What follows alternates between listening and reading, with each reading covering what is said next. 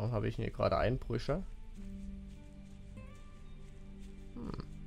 Mysteriös.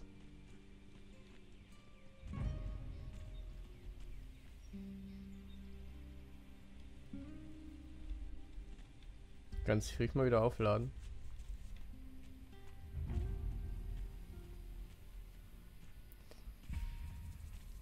Gucken, ob es ja was Neues gibt im Lager.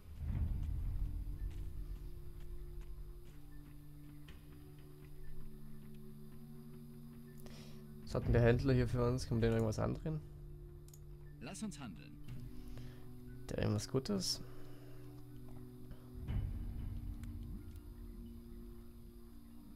Hm. Nicht wirklich.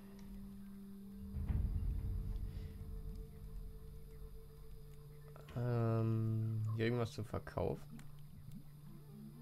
Ogerkeule. Hm.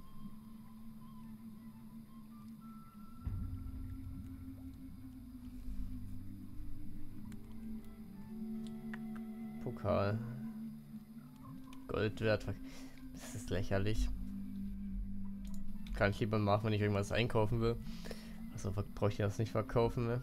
Das ist ja ein Witz.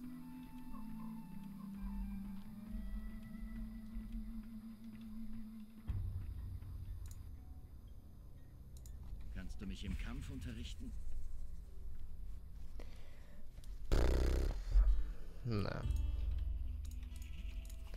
Nur Armbrust brauche ich nicht. Lass dich nicht umhauen. Nö, nö. Kein Fall. Kannst du mich im Kampf unterrichten? Stärke. Ähm, bessere Waffen zu benutzen. Und das ist. Ich will stärker werden. Gut so. Mehr habe ich nicht, oder? Doch. Wie viel habe ich jetzt? Schwert 4. Ja. Unterrichte mich im Schwertkampf. Wie du die Angriffe deines Gegners unterbrechen kannst, weißt du ja schon. Aber ich verrate dir mal einen Trick. Wenn du sehr nah an deinem Gegner bist, kannst du ihm meistens noch einen mitgeben. Vor allem lohnt es sich, diese Schläge in deinen Kombinationen einzusetzen. Hm. Ich will stärker werden. Gut so. Toll. So. Bisschen Stärke wieder. Na, wer ist der bessere Kämpfer von uns beiden? Hab nicht so eine große Schnauze, bin nur ausgerutscht. Das ist Alles klar. Was willst du von mir? Hast du nichts zu tun? Ich dachte, vielleicht hast du was Neues zu berichten. Nein, ich kann dich immer noch nicht leiden. Hm. Schade.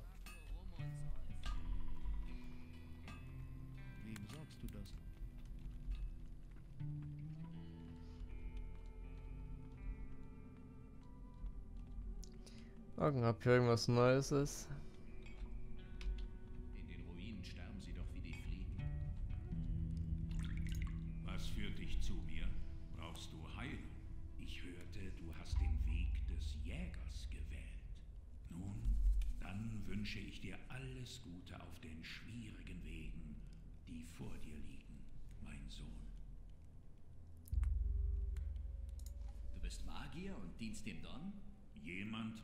sich um die Bedürfnisse der Leute hier kümmern. So habe ich mich freiwillig gemeldet. Ich sehe meine Aufgabe hier als eine Herausforderung und große Ehre. Cool. Die Jungs hier sind äußerst rau und kämpferisch. Jedoch haben wir eine Abmachung getroffen. Ich bringe ihnen Heilung und sie lassen mich hier in Ruhe meine Forschungen machen. Forschungen?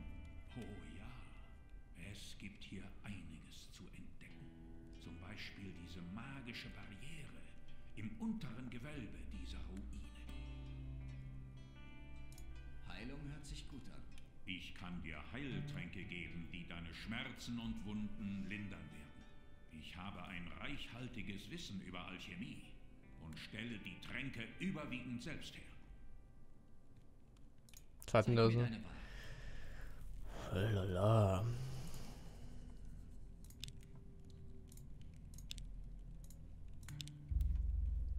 Kann man schon mal machen, wa? Licht zur Beeile.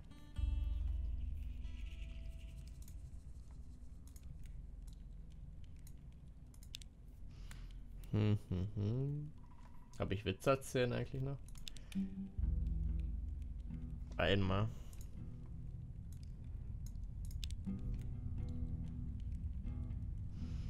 Fläschchen grau. Okay.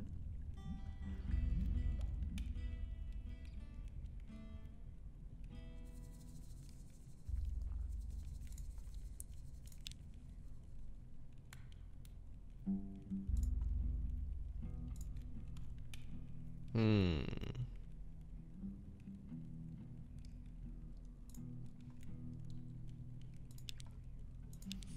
Zwar teuer, aber kann man mal investieren.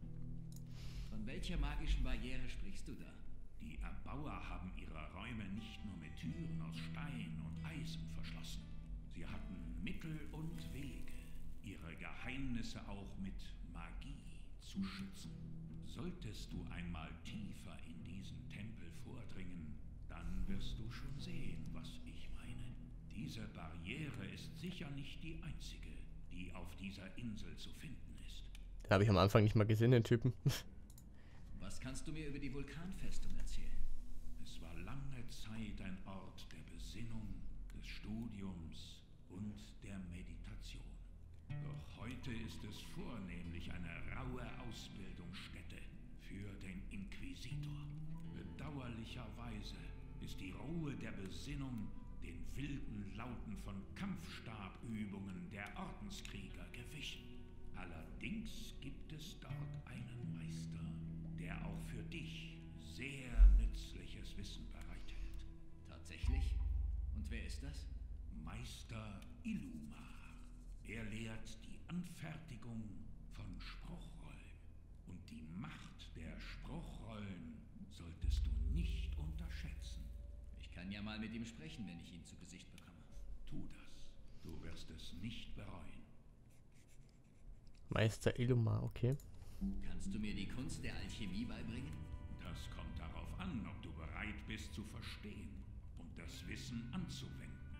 Alchemie ist eine Kunst, die schon nach kurzer Lehrzeit zu einem Erfolgserlebnis führt. Jedoch birgt es auch gewisse Gefahren. Ich werde dich gerne lehren, jedoch nur bis zu dem Punkt, den ich für ungefährlich für dich erachte. Okay. Was kann beim Zusammenmischen von Tränken schon Schlimmes passieren? Hm.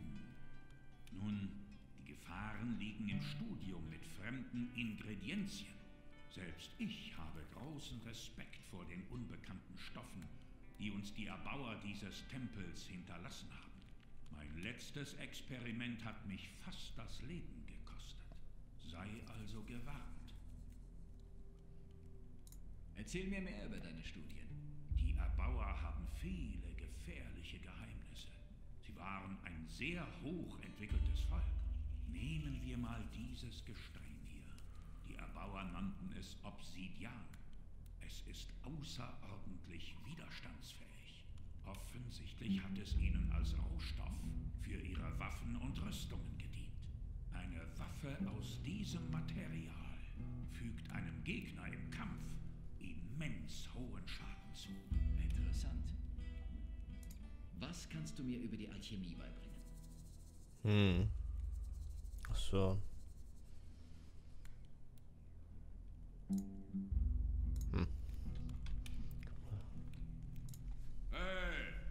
Vorsicht, Mensch. Fass Gold nicht an, Mensch. Das ist ein ganz schön großer Haufen, den ihr hier habt. Ist aus Ruinen. Banditen sammeln Ich mag den Typ irgendwie. Karakos bewacht Goldhaufen. Und der Don vertraut dir sein Gold an. Don Esteban sagt, da ist keiner besser als Karakos. Karakos will glänzendes. Nur gierige Menschen. Aufgabe ist wichtig. Ehre ist wichtig. Nicht Gold. Don Esteban hätte wohl keine bessere Wache finden können. Karakos stärker als Menschen. Karakos kämpft gut. Ganz bestimmt. Karakos zeigt Menschen Stärke und Kampf. Heißt das, du trainierst die Banditen? Karakos macht dich stark. Karakos kennt Axtkampf. Wie kommt ein Oger zu den Banditen? Hat der Don dich etwa angeworben? Don Esteban, starker Kämpfer.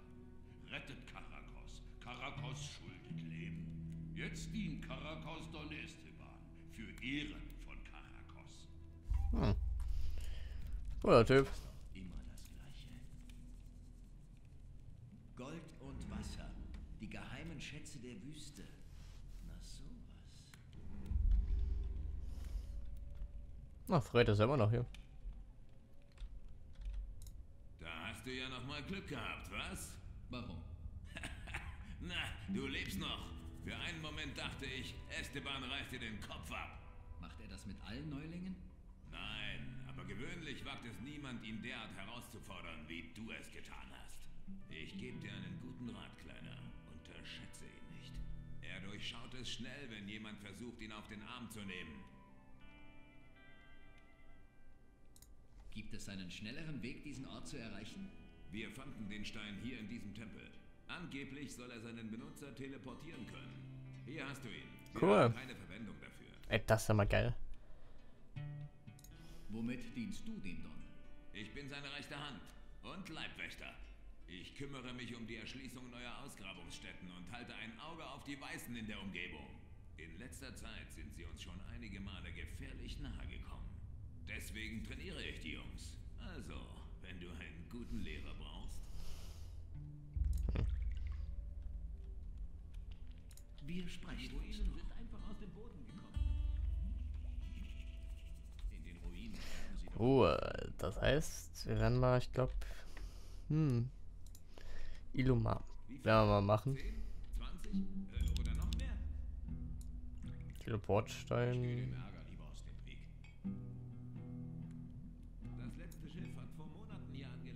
Hä? Was ist denn das? Magie war. Vulkanfestung.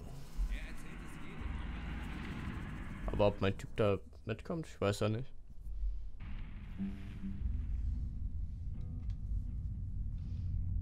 Hm, schade. Dann kommt Fred halt nicht mit. Wo auch immer Fred ist. Er bleibt in unserem Herzen.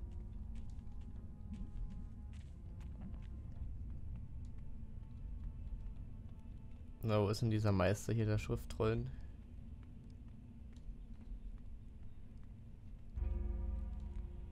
Äh, Gibt's was Wichtiges? Ach, nö, eigentlich nicht. War das nicht da oben irgendwo? War noch dieses Schriftrollen-Ding oder nicht?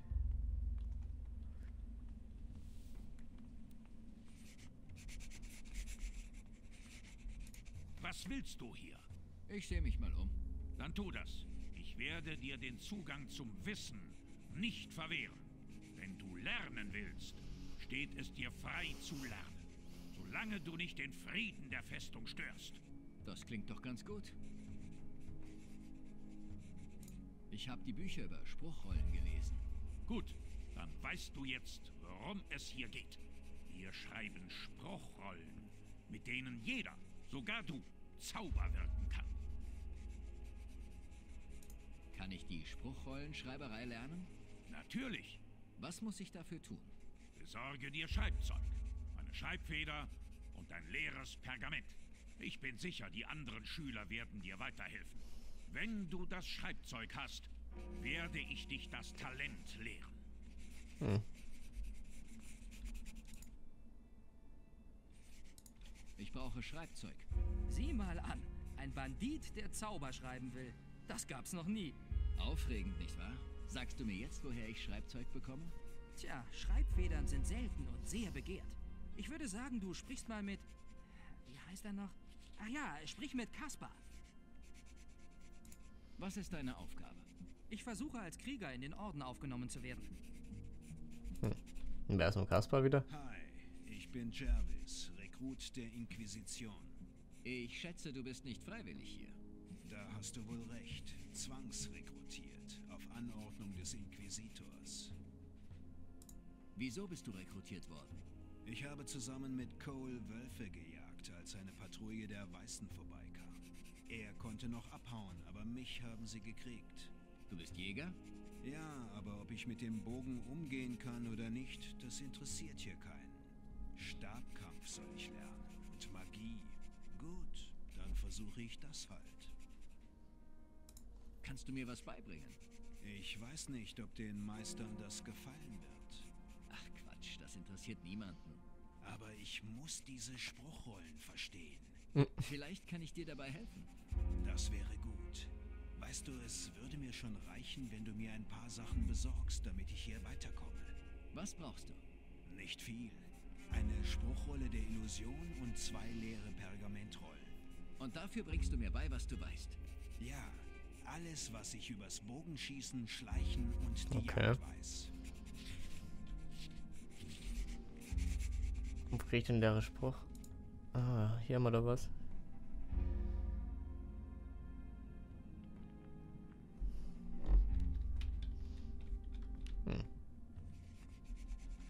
Kann einer sagen, wo ich leere Spruchrollen herkriege? Nicht alles lässt sich durch Worte klären. Was denn?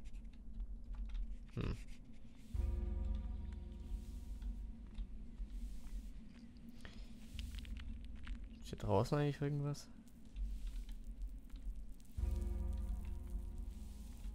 Hm.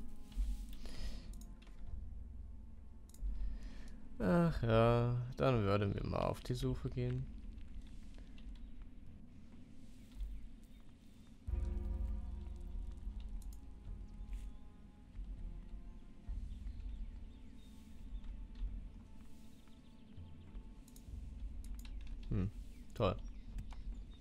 Das bringt's. Jetzt nicht. Hm.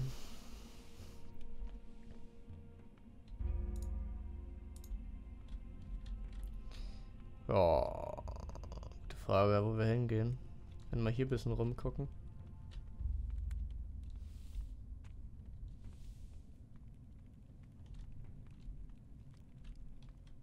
Wer war denn das?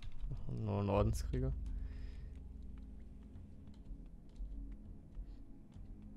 Hi. Ja? Toll. Der Text handelt von magischen Sprüchen. Hier. Ach. Über Spruchrollen und Zutaten. Aha. Um Telekinese auf eine Spruchrolle zu schreiben, braucht man etwas Flügelstaub.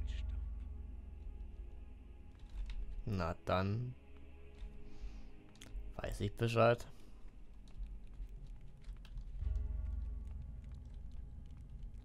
Soll irgendwo noch einer sein oder nicht? Mann, Mann, Mann. Müssen wir halt doch mal runtergehen.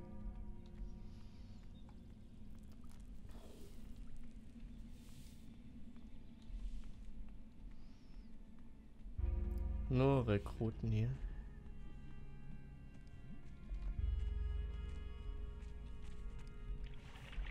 Fass hier bloß nichts an.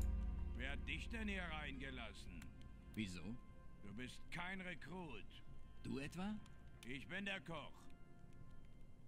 Was gibt's zu essen, Koch? Dein Teller bleibt leer. Oh. Komm schon, ich hab Hunger. Hier, nimm einen Apfel. Oder geh zu Kaspar. Der hat doch immer was. Hm, danke für den Apfel.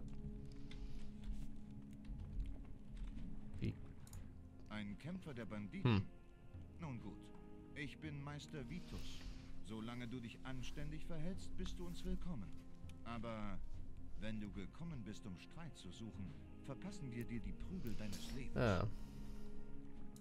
Was genau heißt anständig? Halte dich aus den Kammern fern. Lass deine Finger bei dir und fang keinen Streit an. Na dann. Ich will jetzt nicht mit dir reden. Jetzt nicht.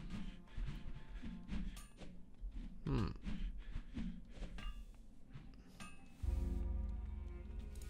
Hey, du bist neu hier, was? Ich bin Tucker, Rekrut der Inquisition. Was für ein Hohn. Dieselben Leute, die mich in Ketten gelegt haben, wollen jetzt, dass ich für sie kämpfe. Das scheint dir nicht zu gefallen. Denkt doch mal nach. Wenn sie uns schon zum Dienst ranziehen, dann ist die Kacke am Dampfen. Was glaubst du, wird passieren? Das weiß nicht mal der Inquisitor. Aber eins ist klar. Wir Rekruten sind die Ersten, die dran glauben müssen. Na dann.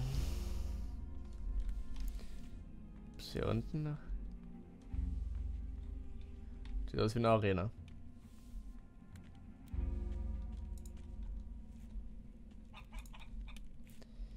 Ei, ei, ei.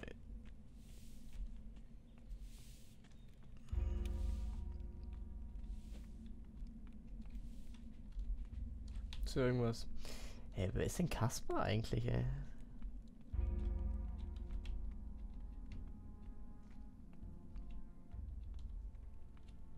Ich kann jetzt nicht. Der Brunner. Ich muss nachdenken. Dann denk doch nach. Mit deinen Problemen musst du wohl allein fertig werden. Kenn ich schon. Kann ich schauen. Hm. Na gut, wir werden Kasper in der nächsten Folge suchen. Bis dahin, ciao.